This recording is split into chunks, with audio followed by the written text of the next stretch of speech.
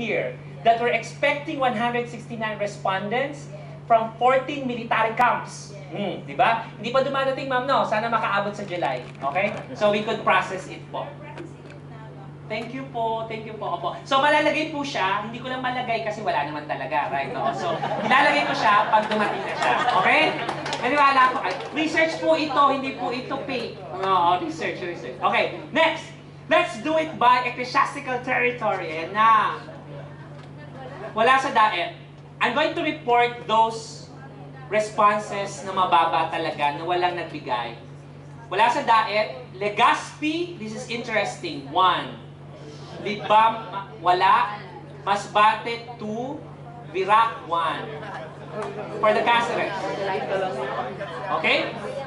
My dears, we cannot do it anymore. We will have to live with what we have. This is what, tama ba sabihin ko, Father Dex? This is what Father Dex is telling us.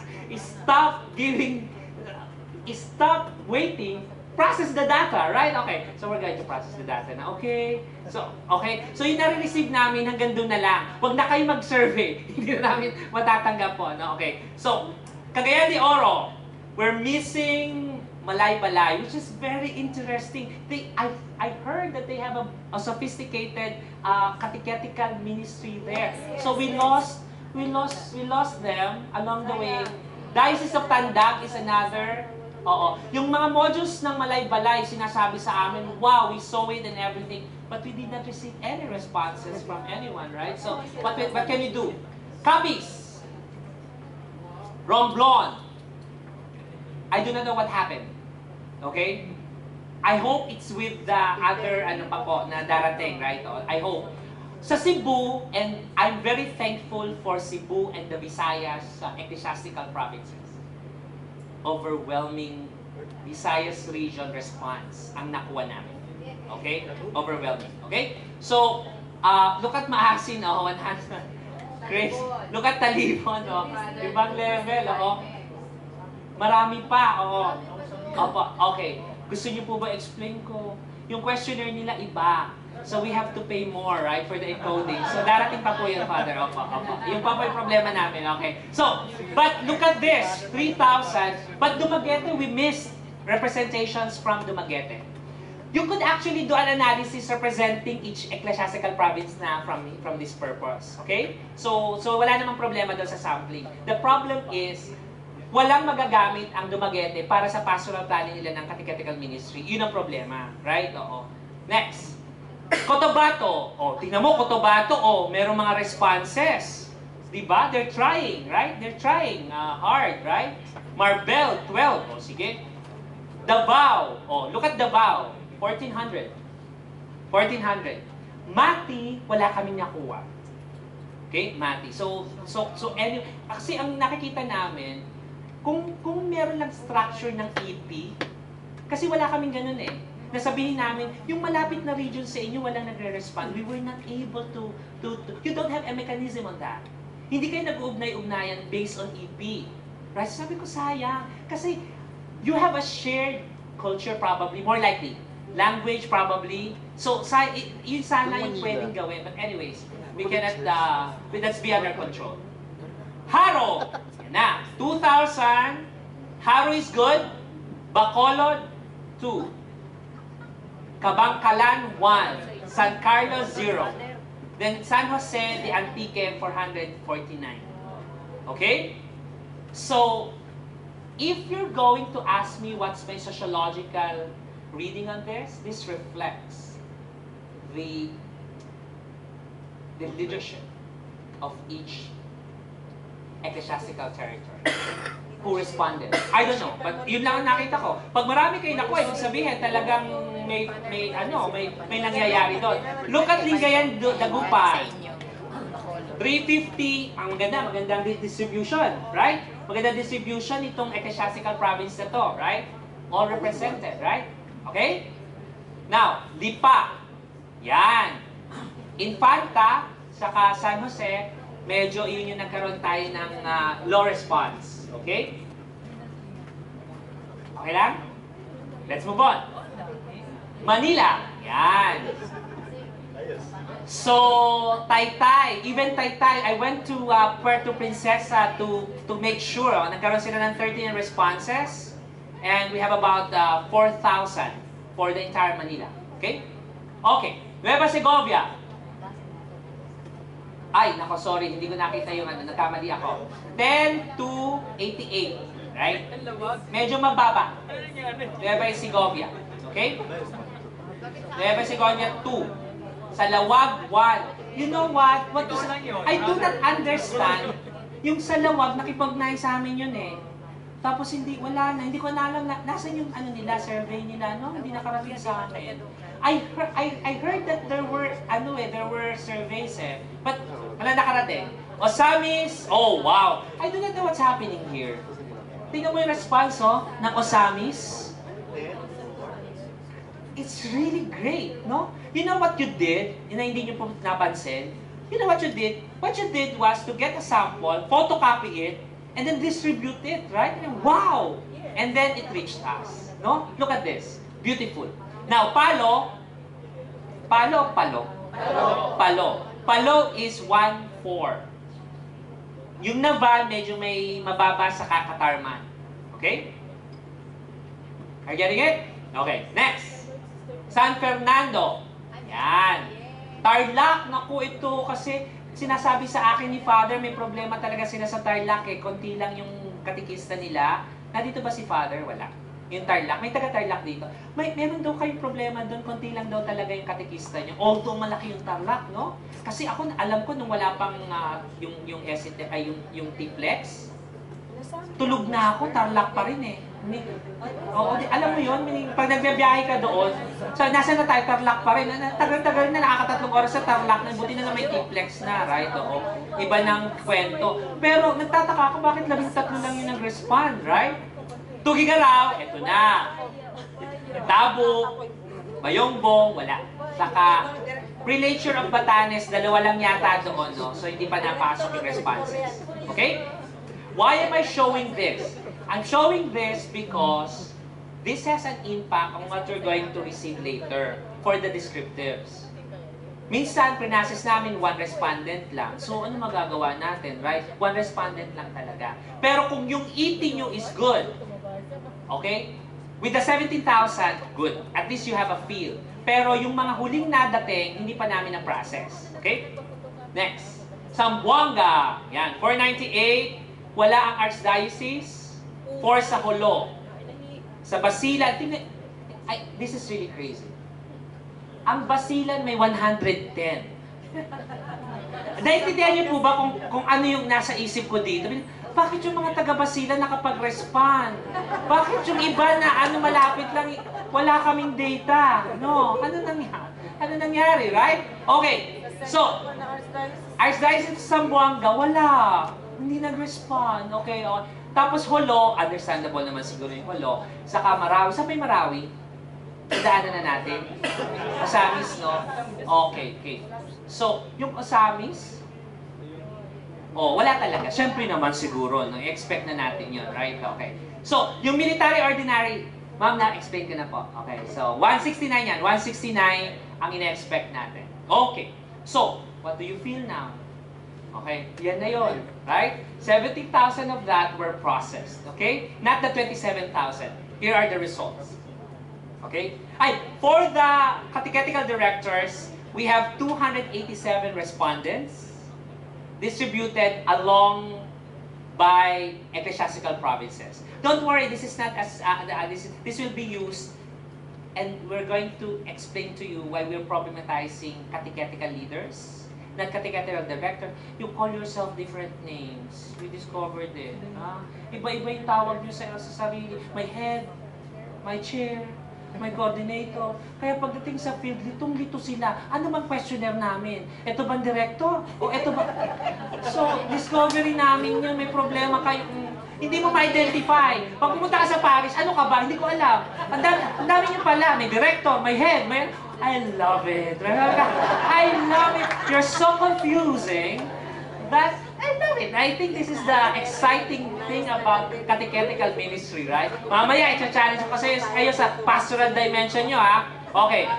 This is nice if, if, if someone reading your data is not from the church, I think, right? Uh, uh, because this is from a purely research point of view. Okay, now, for the interview focus group, we have enough to process qualitative data. 32 were interviewed. FGD for the catechists were 15. We conducted 28 interviews for catechetical directors, leaders, or whatever you call them. And then focus group discussion, we had one. So ibig sabihin, we have enough data in the next two years to chew and to publish even books and produce thesis and dissertations. Now, data limitation for these purposes of presentation, uh, online paper-based, uh, we, we included them for the presentation. This includes both catechists and uh, coordinator respondents. We only are reporting 17,000 plus uh, responses. Presentation is only descriptive, not inferential. Kasi we could debate about the inferences later. Then data results are only suggestive because remember, we have 10,000 more, right? We do not know what will happen to the census data when that 10,000 uh, more uh, uh, are included. More inferences required uh, when possible.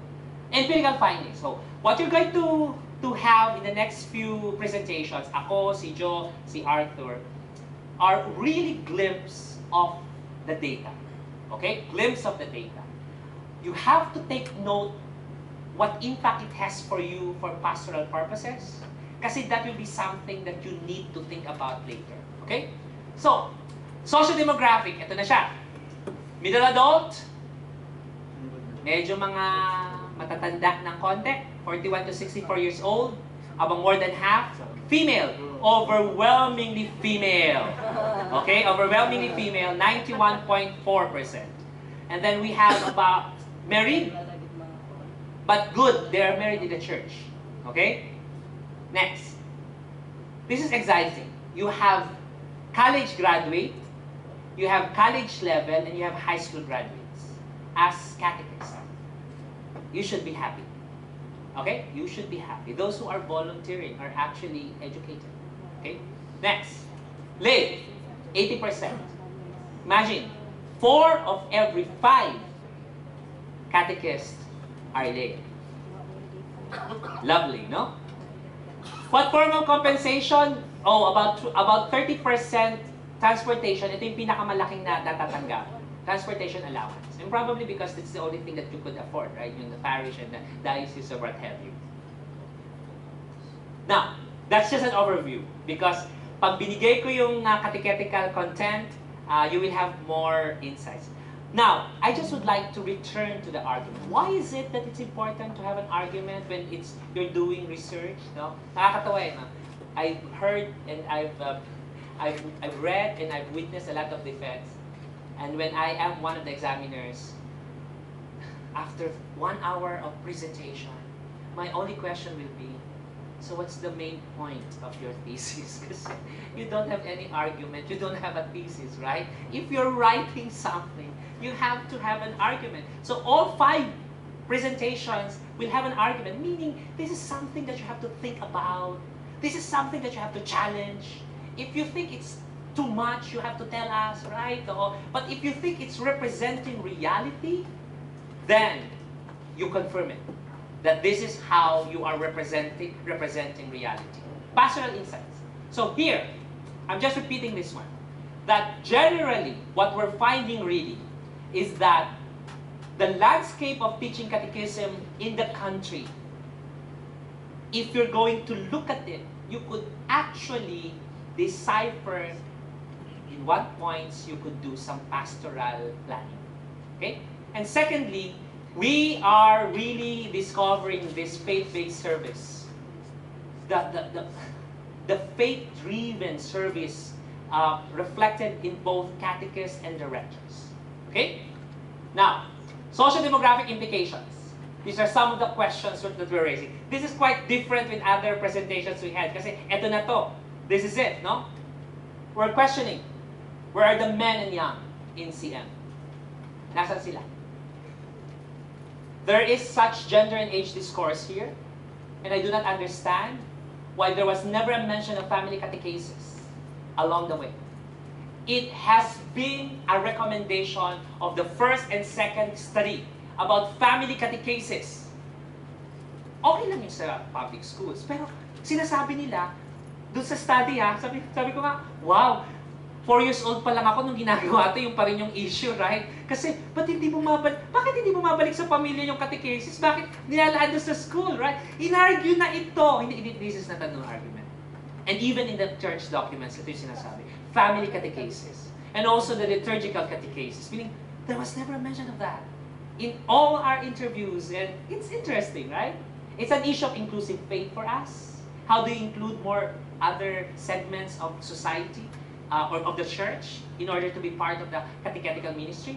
The second one is what you call as a, the CM discourse.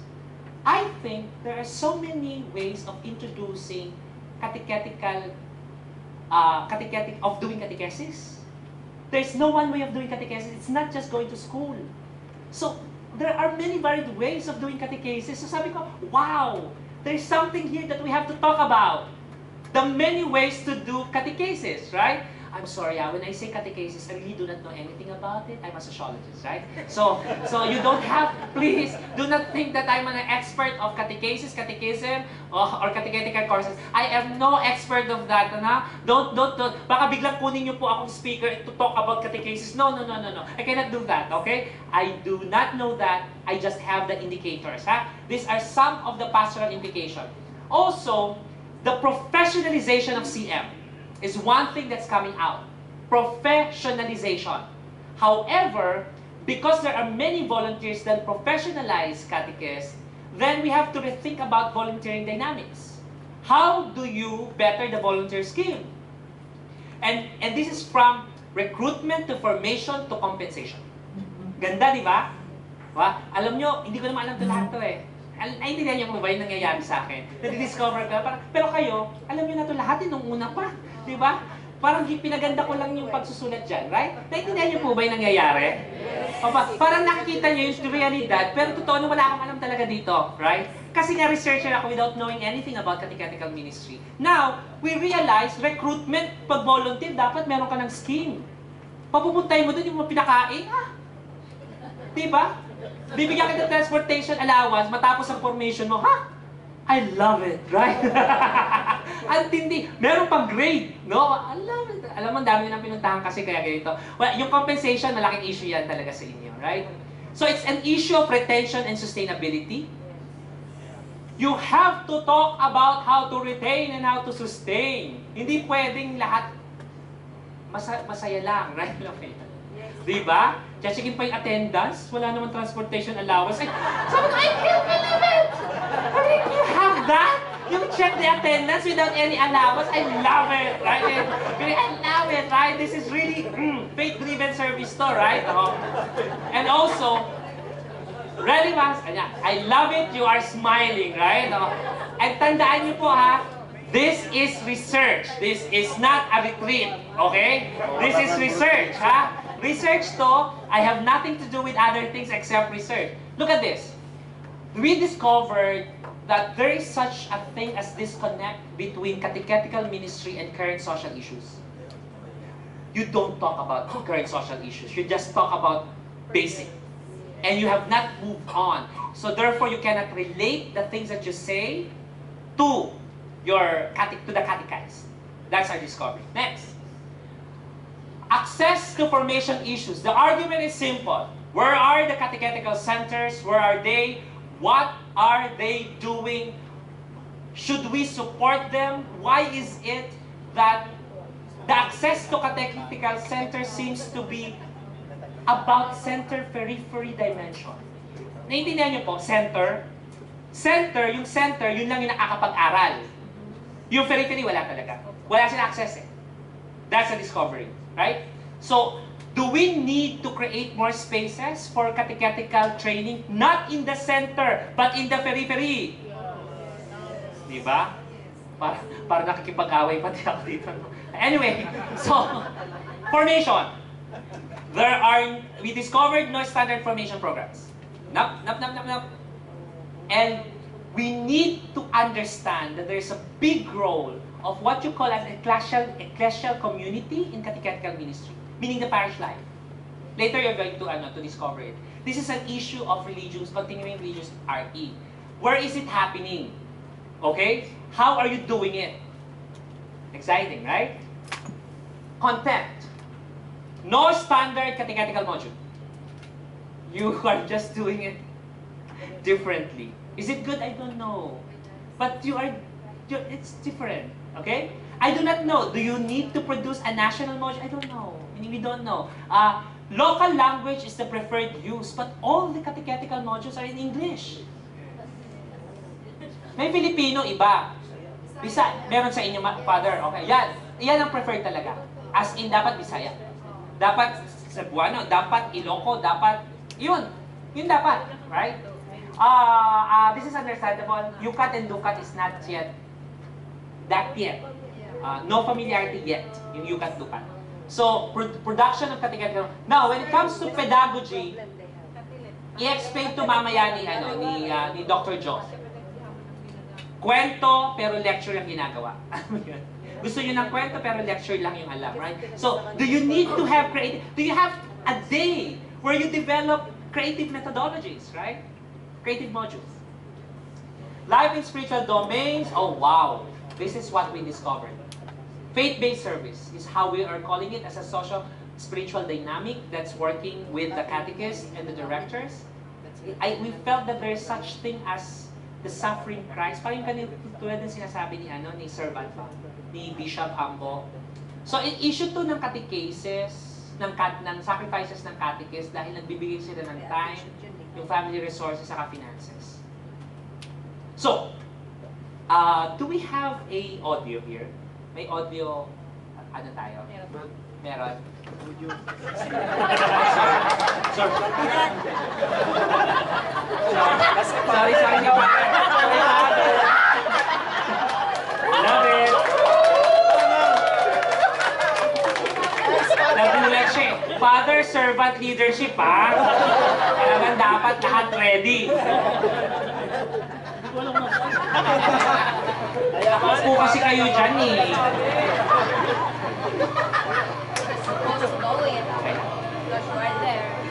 Parang ano siya, no? Let's see. So this is our journey.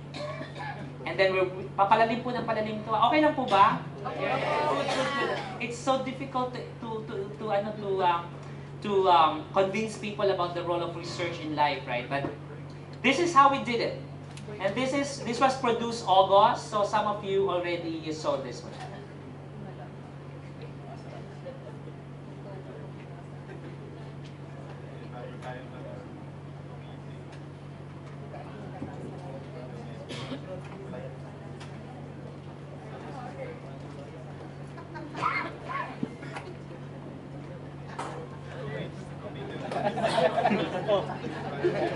Sorry, sorry, sorry, sorry, sorry. Sorry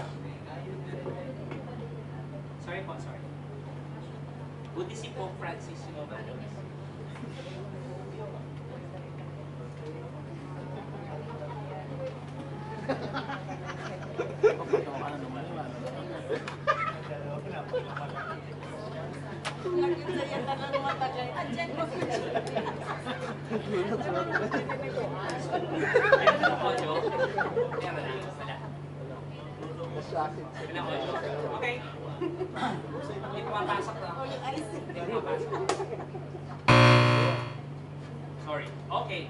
So, I'll be the audio. Okay lang po? Father, okay lang po. Wala na lang audio.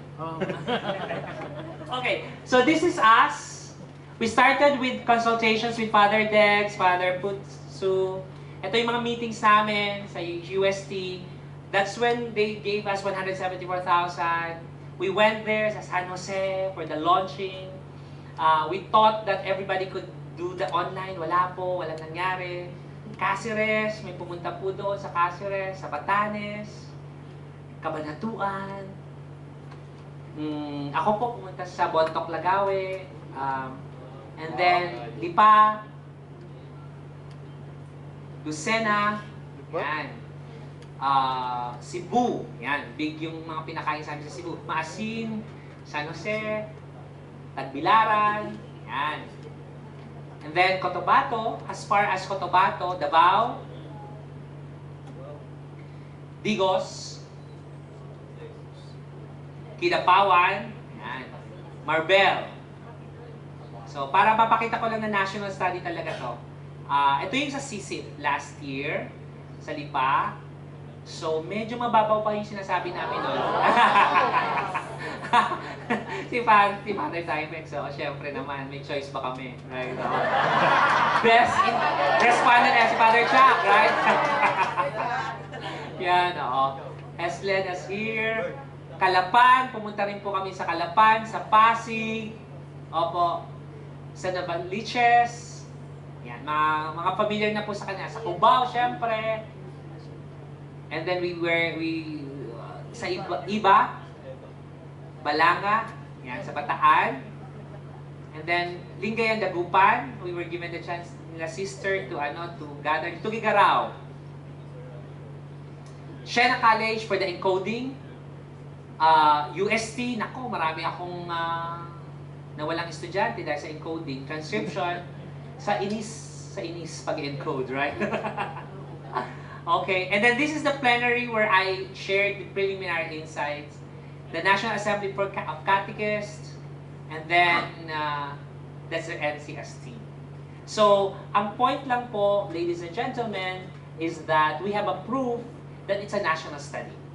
Hindi ito yung tipo ng hindi mo pinaglaanan ng panahon. Talagang pumunta kami sa some uh, specific areas and then we asked help for everyone. Alright, so siguro convinced na kayo sa methodology. So let's get into a more exciting ways of understanding the data. Uh, sabi ko kanina kay uh, Father uh, Dex, na nagkakwentuhan kami, I'm especially sentimental when I hear about the death of Father Mark of Tugigaraw. You know why?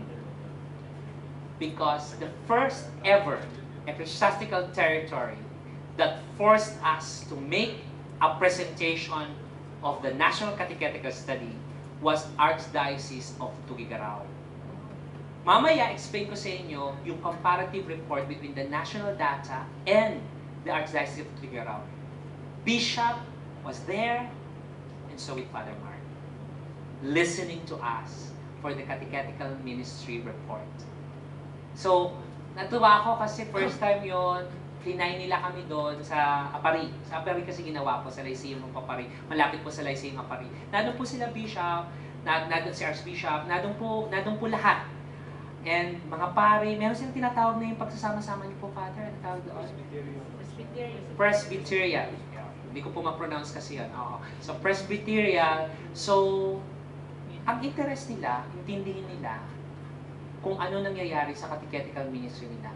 And they do not like anyone except for those with data.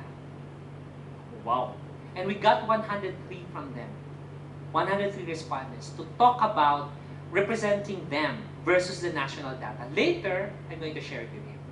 Kasi the data, the national data will not mean anything if you're not going to compare it to your ecclesiastical territory.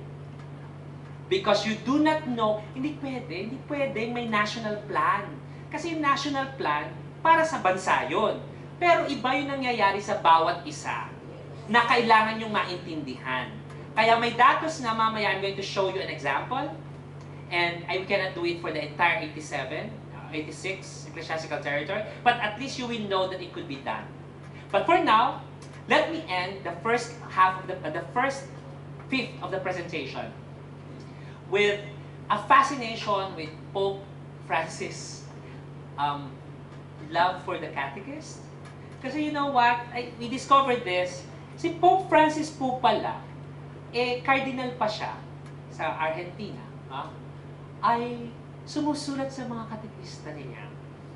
Isn't that sweet? Now, no, I question yung mga obispo, nagsusulat ba sa katekista nila? Right? Oh, so, no, no, no, question lang. Meaning, kasi si Pope nagsusulat nga eh. Ito, oh, Pope pa lang siya. At may latest pa siyang sulat. Meaning, I did not capture it, uh, Arthur, right? But look at this. This was a letter on August 21, 2012. Right? Ano sinabi niya sa kanya? I, would just like to end this one and please have a feel of it. It's beautiful. Sabi niya, while thanking you from my heart for all that you do as a catechist. My God. If the bishop will say that to you, right? Ay, may bishop ba dito? Wala naman. No? I, no, I've been, I've been talking to them. I'm going to tell the same thing, right? Uh, for your time and your dedication, the prayer of hope, I ask the Lord to give you an open mind. Wow! An open mind. So as to recreate dialogue and encounter among those whom God entrusts to you. Galing, no? Meaning, kung ano, when you start to talk about faith and teach catechism, talagang God is entrusting to you yung mga kinakatechize natin, right? And a believing heart. Yan. That's something to struggle with. A believing heart. So as to follow, exclaiming that He is alive and loves us as no one else does. Now, ang medyo Mama Mary na naman to. Pero specific Mama Mary to, Mary Help of Christians. So, ibig sabihin, Baskon yan ito. mukhang nga, mukhang interesting itong si ano, mukhang interesting to si si ano si si Pope, no? I have a picture of Mary Help of Christians that says, "You who believed, help me. May she help us to follow by being faithful to the Lord's call." Isn't that beautiful? Yeah. Now I turn you over to uh, Ma- Ma'am Jo, si Dr. Uh, Jo Trosho for the teaching catechism uh, uh, argumentation. Okay na? Okay. Ah, may break pa muna tayo. I'm sorry. okay, so I think we will need to have a break. Okay. For uh, for how many minutes po? 10? 15. Okay, so we go back so we could finalize everything. Okay. Thank you so much for the first half. Okay.